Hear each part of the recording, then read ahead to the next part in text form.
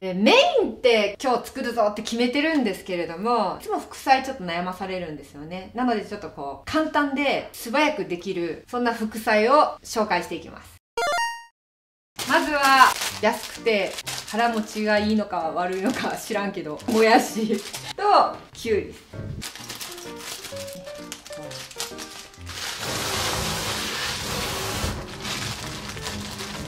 水誘うぐらいに軽く使用します。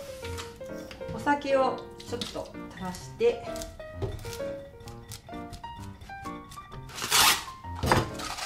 これをラップして3分。はい。じゃあ電子レンジにかけてる間に。ここにちょっとだけ塩入れて。ひとつまみほどでもいいので塩入れて少しお水出していきます。しっとりしてきたらお水切っていきますね。はい。3分経った。そしたらこのきゅうりもう入れちゃいます。生ハム。生ハムは冷蔵庫にあったから使ってるんですけどハムを普通のローストハムを千切りにして入れてもらってもいいしちくわを千切りにして入れても美味しいです。大さじ1ぐらい入れていいですねこんなもん小さじ2ですよ。鶏ガラの素小さじ2分の1ぐらい。ごま油。大さじ1ぐらい入れてもいいかなと。にんにくのすりおろし。小さじ1ぐらい。もやしきゅうりの生ハムナムル。完成。2品目長芋とオクラのネバネバネバ漬け。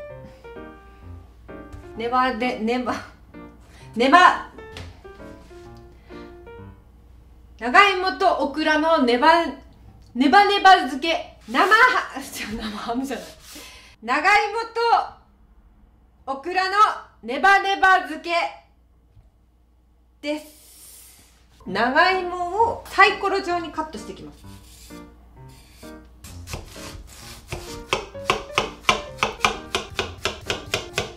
こんな風にカットしました。次オクラですね。オクラです。オクラはまあ湯がいてもいいんですけどこのまま生のままでもいただけるので生のままでやります。普通に塩振ってもらって塩でズリズリと。まあ、表面の産毛みたいなのを取り除く感じ軽い下味をのせるような感じで見ながら塩で表面をツルツルにするみたいなそしたら流水でさっと流します。カットしていきますね。あまり薄くスライスするよりコロコロの長芋の厚みをちょっと意識する感じでいくと1センチぐらいあってもいいかなと思います。皆さん副菜は何をよく作りますか？大体サラダか味噌汁とかはちょっと結構定番だったりで出しやすい準備しやすいんですけど同じサラダ系でもちょっとこういうねネバネバとしたものですけど体にいいものとかもたまにはこうサイドで出すといいと思うんですけどね。ここに加えてきますね。はい。今度はここに加えるつけ汁を作ります。もう簡単なんですけどまあ、酒 50cc ほど醤油大さじ2みりん大さじ2酸味のお酢大さじ1でお酒とかみりん入ってるので一回ちょっと火にかけてお酒を飛ばします。今みたいにジュジュジュって言っても人にたちも間違いないのはもう一回グラってさせれば今もうこんなもう一瞬グラグラってしてる分には飛んでるのでジュジュジュジュって言ってる時点でもうアルコールは飛んでるんですけどさあここで今度はこれも仕上げていきますね。でこの時に用意するのがこれよくお味噌汁とか作る時に使ってる粉末だしなんですけどこれをなんかオープンして全部は多いんですがそうだなこれだったらちょっと入りすぎてもうまみプラスなんで小さじ1ぐらい入れてもいいかもしれない。ふりかけみたいな感じで入れてもらえれば。でここに、えー、塩昆布ですね。塩昆布も1つまみぐらい。で好みで辛いのが好きだったら鷹の爪入れてもらっても彩りにもいいしピリッとして美味しいと思います。そしたらこのだしをですねもうこれで入れます。でまあ今ちょっと熱々ですけどもだんだんこう粗熱取れて混ぜてると全体に味がなじみつつネバネバが表立ってきますで何がいいって美肌効果があるらしいんですよね。美容に気をつけている皆さんは積極的に食べてもらってもいい一品だと思います。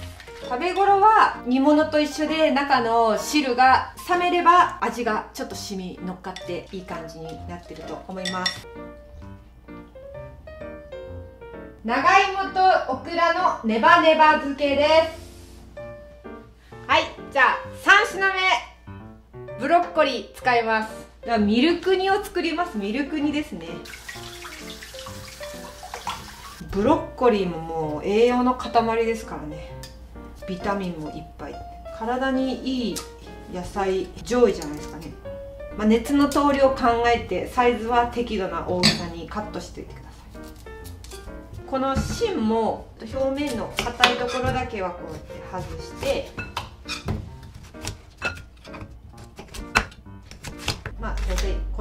コロコロでできます。大さじ1ケチャップ。塩ですね。塩。小さじ1ですね。小さじ1牛乳です。牛乳で